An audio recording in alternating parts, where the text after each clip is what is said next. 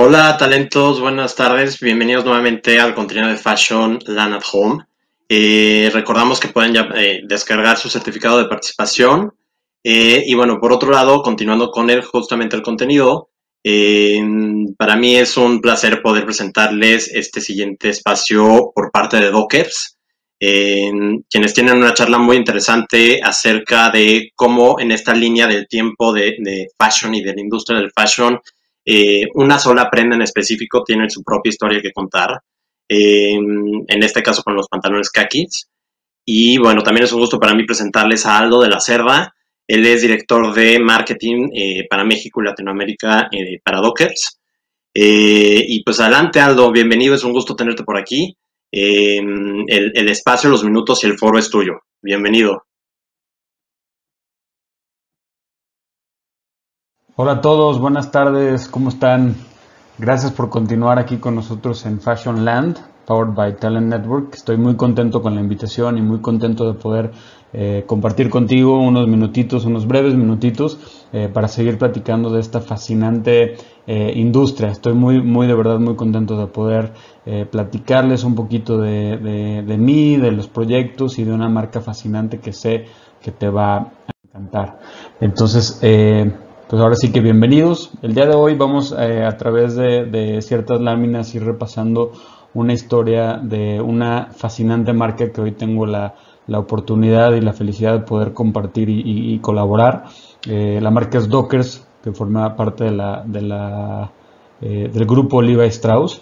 Entonces, eh, Dockers ha sido una marca que ya lleva 35 años en el mercado y que ha sabido revolucionarse eh, año con año y década tras década en un entorno muy competitivo. Entonces, hoy, pues, el día de hoy vamos a ir repasando un poquito de esa historia y qué fueron los elementos clave para seguir permaneciendo, para seguir siendo una marca siempre fresca, siempre verde eh, y que sigan contemplándose como uno de los de las marcas más importantes en cuestión de de, ropa en el mundo. Entonces iremos repasando eh, poco a poco cómo, cómo, cómo, fue evolucionando esta marca. Eh, traigo aquí mi cronómetro para no, no, irme un poquito más en tiempo. Entonces, bienvenidos. Hoy vamos a hablar un poco de eh, revolucionando una marca de 35.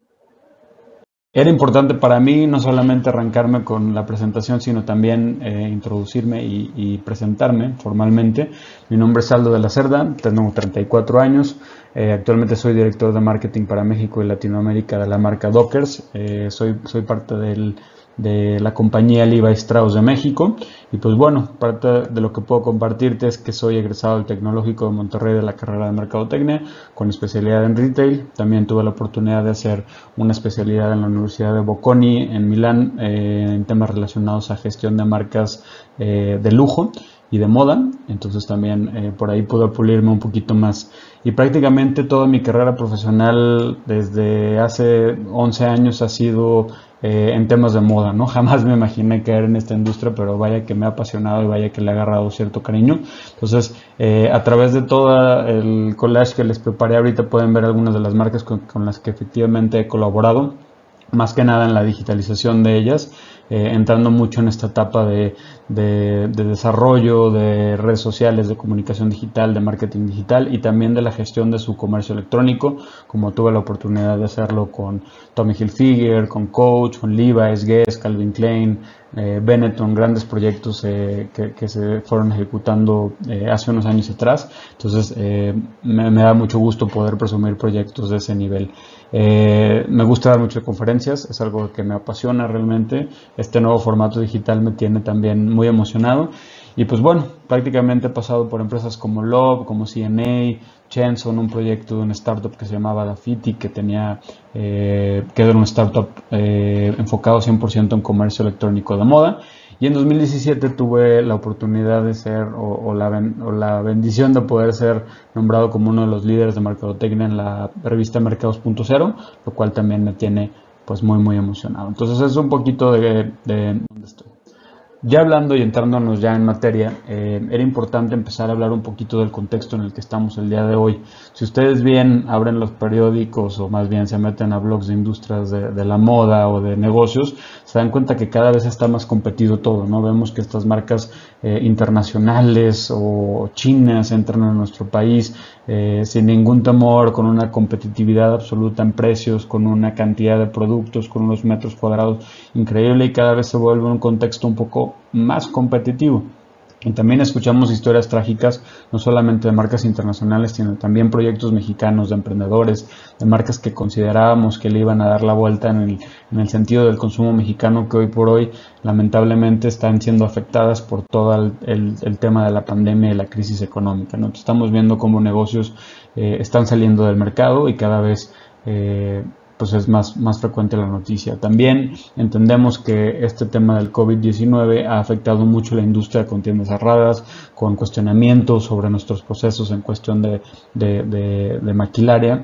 Y, pues bueno, aquí lo mencionan como una crisis existencial que obviamente eh, se tiene que replantear. ¿no? Y también vemos este fenómeno ecológico y muy bueno que es el, el, reutilizar las prendas, envolverlas a, poner a la venta o comprar en un lugar donde haya productos de segunda mano, vemos que este fenómeno también lo están considerando como algo que, las marcas debemos estar viendo y pues bueno, hay que, hay que trazarlo, ¿no? Y también eh, marcas que creíamos que le iban a hacer en grande, que llevan 5 años en, o 7 años o 9 años en, en, el mercado, ya se están declarando bancarrotas. Aquellos que veíamos invencibles, hoy por hoy son, son, son los que están declarándose bancarrotas y pues realmente es un, una sorpresa para todos. Y la pregunta que quizá todos aquí nos hagamos es qué se necesita realmente para hacerla, ¿no? sabemos que es muy difícil y, es y no es una respuesta que inmediatamente se pueda resolver, pero sí definitivamente eh, podemos eh, decirte algunos, algunas recomendaciones de cómo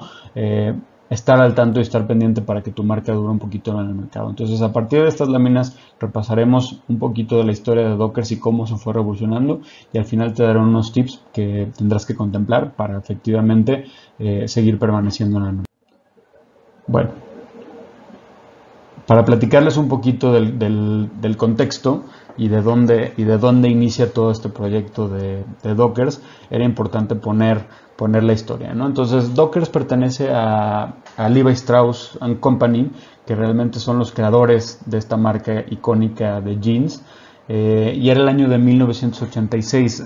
Levi's lleva siendo una marca por más de 100 años, eh, la cual ha acompañado a los consumidores y a las personas en este ritmo de autenticidad, de rebeldía, de comodidad, de, autenticidad y siempre ha sido una marca disruptiva en, cómo comunica y cómo hace sentir a sus consumidores. Eh, ¿Qué es lo que estaba sucediendo puntualmente en esta década? Es que los baby boomers se estaban enfrentando en algo eh, nuevo en sus vidas, que no todo era rebeldía, no todo era estar en la moto o en el carro con los amigos o, saliendo de fiesta o irse a, a comer, sino realmente entraron en una etapa importantísima de su vida se llamaba empezar en un contexto eh, de oficina, ¿no? Entonces sabían ellos perfectamente que, que, podrían ampliar una línea, que podrían hacer un Levi's for Work y meter algún pantalón tipo formal, pero obviamente eh, detectaron muy bien las necesidades en ese momento del mercado y decidieron con una óptica y una lógica bastante buena el no meter eh, una marca disruptiva a un mundo laboral. Y es ahí donde entraron en qué se podía hacer, qué es realmente lo que teníamos que hacer para, para este, diversificar esta parte y creo que la mejor decisión que pudieron haber tomado fue haber eh, creado una, una, segunda marca, ¿no? Y no precisamente ampliar como muchos de los negocios actualmente lo piensan, que es como, oye, pues yo voy a hacer eh, moda, belleza y hasta agencias de viajes después. Justamente ahorita lo que hicieron fue eh, saber dónde su marca Levi's jugaba y dónde también tenían oportunidades de negocio en el desarrollo de una marca icónica, ¿no? Entonces, un poquito del contexto, en ese momento, en el 86, estaba todo este boom sartorial de, de, los trajes y del mundo de Wall Street y de cómo el hombre empoderado realmente tenía que siempre estar perfectamente sastreado, eh, camisa, corbata, puro, eh, whisky y, las apuestas a todo lo que da saliendo de la oficina, ¿no? Entonces era una comunicación que ya el consumidor estaba un poco cansado o que más bien en algunos de los casos no precisamente se sentía así y un fenómeno y una, un, lazo que realmente intentaron hacer era decir que si no tenías un traje no tenías éxito o eras un don nadie y prácticamente era ese sentir que no todos tenían o, o, alguien que se dedicaba a la administración de una empresa eh, ferretera pues no tenía que puntualmente irse de traje y de corbata. Entonces encontraron ahí una, una etapa muy importante y este, el siguiente eh, slide tiene que ver con cómo pensar diferente a ellos, ¿no? Cómo irnos en contra de, en contra de la corriente y empezar a decidir eh, cosas distintas en, en, comunicación. Y pues bueno, prácticamente lo que hicimos fue crear este icono, este proyecto que se llama el kaki, el cual pues realmente era un pantalón eh, hecho 100% con algodón, en el cual nuestra primera silueta, que era el K1, prácticamente adaptaba todo este tema de lo casual, lo, lo formal y lo confort, ¿no? Como un simple producto podemos posicionarlo así. Esto es un poquito de lo que hicimos en la primera campaña de Dockers por ahí de 1988. I see a gray hair there. Right? I do. I have a couple. Let me see. But you know something? The first time I ever went to uh, Paris and I walked down the Champs Elysees, I had the weirdest, weirdest feeling that I'd been there before. But you took, but you took sides in a political conversation, though. A guy named Steve. His life wasn't going well. He put an extra e in his name. S T E E V E. Steve. Because in Florida we used to go deer hunting. There hadn't been a deer in Florida in a hundred years. Levi's 100% cotton Dockers. If you're not wearing Dockers, you're just wearing pants. It's a yes. It's a definite okay. Y si bien se dieron cuenta en el comercial, pues realmente no estuvimos ahí en las oficinas o en los despachos tomando decisiones importantes, sino realmente se volvía ese momento casual en el cual eh, los consumidores se sentían identificados, ¿no? Ese eh, after hours o ese post office donde te vas con tus amigos de la oficina y hablan de otras cosas, eh, pero saben que vienes de ese mismo modo y, estás tan casual y estás tan, tan a gusto, tan pasándola bien, tan diciendo francamente cosas que, que, que realmente se encajó muy bien con el mercado y realmente en los finales de los 80 se trató de eso, ¿no? buscábamos o sabíamos perfectamente que, que de lunes a viernes estaba dedicado a los a los trajes, ¿no? Y que los fines de semana eran perfectamente para los jeans. Y en Dockers encontramos justamente esa raya en medio en el cual eh, contemplábamos perfectamente un producto para ese tipo de mercados, ¿no? Entonces necesitábamos como encontrar a este consumidor que, ya quería hacer un break del todo el estilo eh, muy formal y buscar algo más casual, ¿no? Entonces eh, dentro de esta silueta que es el K1, perdón, ya estaba hablando de cubrebocas, K1 de Dockers, el Kaki, realmente eh, esa fue la primera silueta la cual introducimos perfectamente. Y bueno, eh, hicimos esta, esta guía que se llama la guía del casual wear, eh, en el business wear, perdón, en el cual realmente hicimos este clic con los consumidores diciéndole, oye, no está tan mal que te vistas eh, diferente a la hora que vayas a la oficina. Nos salíamos con cerca de 25 mil, creo que, empresas de recursos humanos donde a través de la distribución de esta guía eh, animamos a muchísimos consumidores a que esto lo hicieran, ¿no? Y, a partir de ahí se creó el, el, Casual Friday, ¿no? El viernes casual es una obra de, Dockers en, en 1986, ¿no? Entonces toda esta parte de irme un poquito más cómodo a la oficina los viernes tiene mucho que ver con el eco que se hizo eh, de esta campaña. Entrando un poquito a los noventas, ustedes bien saben que fue la era eh, post-Madonna y el hipersexualismo y toda esta parte. Entonces, una de las cosas que hicimos en cuestión de modificaciones es esta.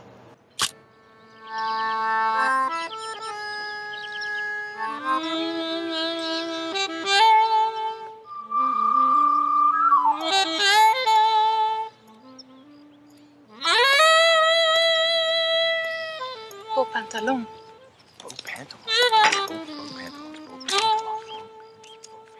Hey, she says nice pants. Is a Darker stonewashed khakis. Eso es más o menos la presentación de Dockers en los 90. Y como bien lo dije, pues es un tema en el que eh, la sexualidad estaba súper metida, ¿no? Entonces eh, veíamos estos anuncios súper eróticos donde el Wonder Bra, este, donde un ATT tenía una chava así súper guapa con un teléfono y era un año en el que realmente necesitábamos nosotros también integrarnos en esa etapa del consumidor y empezar a hablar perdón, de, de, esto, ¿no? Entonces, eh, los 90 fue el año de la hipersexualidad. Eh, por ahí también tuvimos la, oportunidad de hacer efectos en las series de televisión que también en los 90 causaron un gran boom. Eh, por ahí estuvieron menciones en Sinfield, que era un, un ligue que traía ahí y hablaban sobre justamente el, comercial de Dockers, este de, de, de They're Just Pants y fue un efecto donde abarrotamos las tiendas y las, y las departamentales donde realmente hicimos un muy muy buen eco con la audiencia. También con el, con el caso de los Simpsons, en uno de los episodios es que Mark llega con unos eh, pantalones, si bien recuerdo número siempre trae unos pantalones azules y de repente trae unos pantalones eh, kakis, en el cual le dice que pues, son los pantalones que siempre quiso. Entonces a raíz de toda esta conversación que hubo, eh, tuvimos un efecto positivo en cuestión de entender al consumidor y encontrarlo.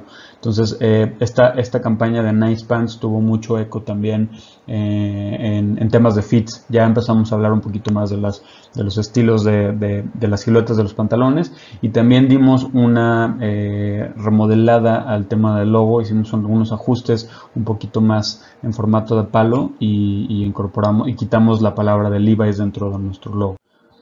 Eh, para el 2010 esta es una campaña increíble que salió en el Super Bowl.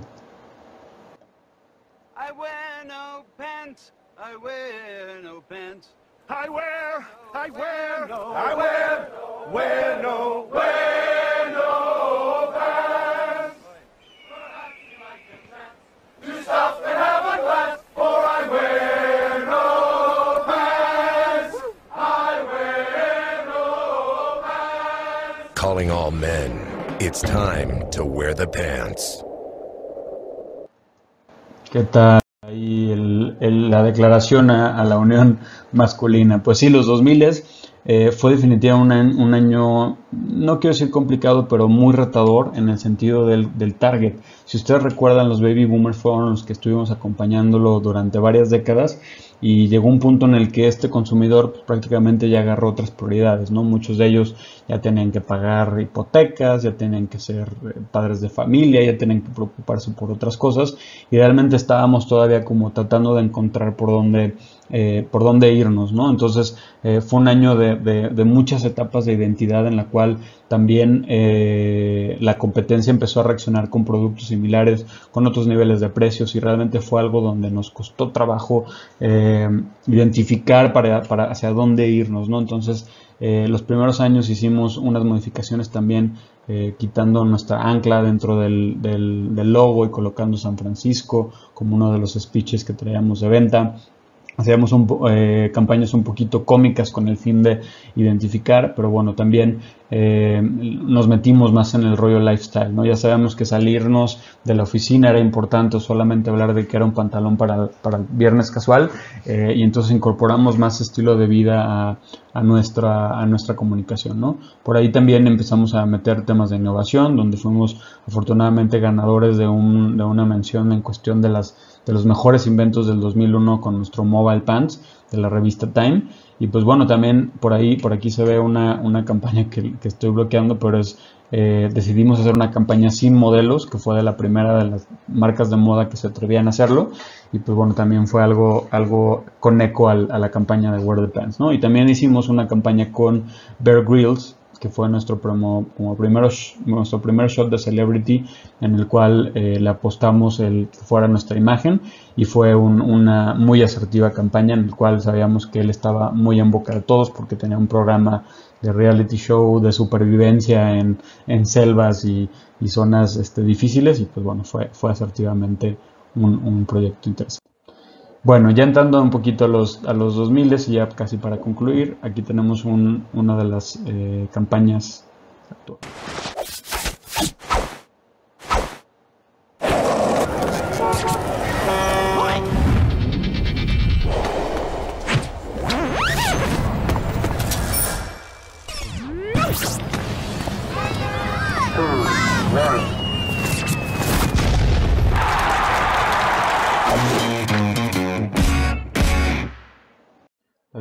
Campaña es una de mis favoritas que hicimos exclusivamente en Europa, pero tiene un buen mensaje.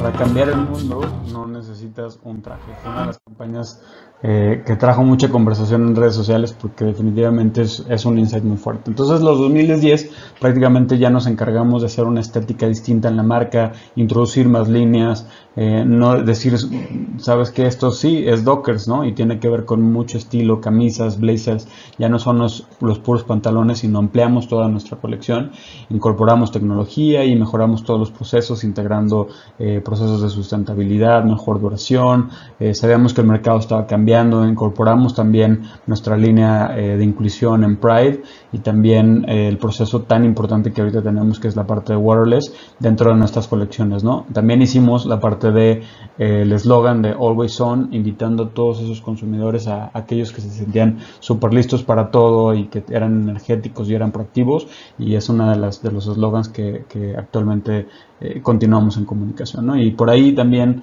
a partir del 2018 regresamos al logo original, que si se fijan aquí lo tapé poquito, pero realmente traía, eh, pues esta, teníamos este anteriormente y pasamos a este. Entonces, pues bueno, regresamos un poquito al origen. Y bueno, hacia dónde vamos ahorita, esta es una de las campañas que lanzamos esta semana, que bueno, me da mucho gusto enseñar. I've spent my whole life connected to the ocean. I've also been working to provide clean drinking water for 10 years now. And at the same time, Dockers has been saving it with their waterless process. Together, we decided to really do something about the water crisis. We can't wait around for a problem to be solved. We gotta get creative, and then we gotta follow through. It's simple. Do what you love and help along the way.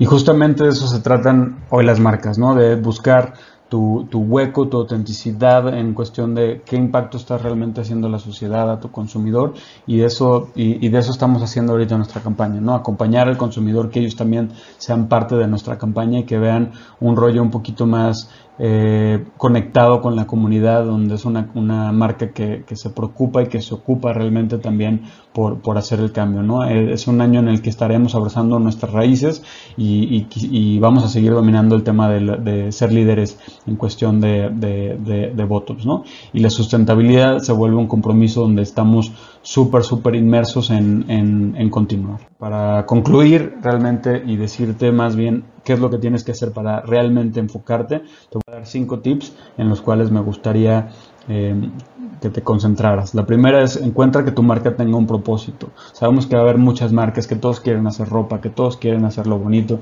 que todos quieren hacerlo eh, artesanal, pero realmente encontrar un propósito donde, donde tú digas, aquí es donde yo quiero jugar, aquí es donde yo eh, me voy a desenvolver, así como, como Dockers decidió revolucionar la industria de la moda en cuestión de, de, del mundo corporativo o de trabajo eh, encuentres también en dónde te gustaría jugar y dónde te recordaron los consumidores.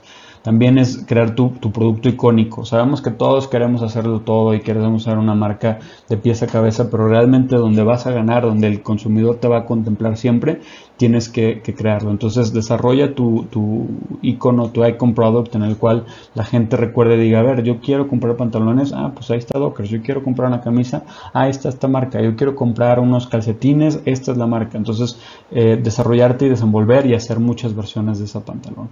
Eh, siempre también reinventarte, reinventarte y cambiar con tu consumidor. Lo vimos, eh, las etapas en las cuales el, consumidor baby boomer soltó un poquito la marca, era momento de empezar a buscar otras audiencias y eso mismo ocurre o debe ocurrir con prácticamente todas las marcas. Entonces, si los contextos cambian, si el sexualismo entra, si la ecología entra, ve acompañando a tu consumidor porque es una etapa en la cual eh, va a existir una sinergia entre ambos y te van a considerar todavía más.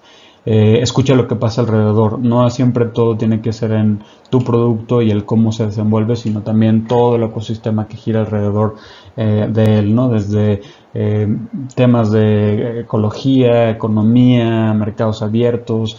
hay que saber qué está sucediendo para también reaccionar, ¿no? Y la más importante es sigue invirtiendo en tu marca. Es importantísimo que tu marca eh, la cuides, se equilibra toda la parte de balance promocional y producto y empieza a crear esta experiencia de marca donde ellos sientan más allá no solamente de que es un producto que, que, es cómodo, que es funcional o que tiene buen precio, sino que realmente les inspira. Entonces es importante que sí inviertas en mercadotecnia, sí inviertas en branding y esto lo apoye eh, pues con una campaña eh, efectiva y de alcance.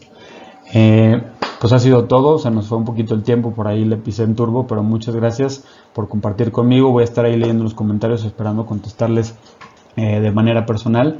Gracias por conectarse, gracias a todos por estar aquí. Pues bueno, ahí les dejo mis redes sociales y las de Dockers por si quieren conectar y preguntarme.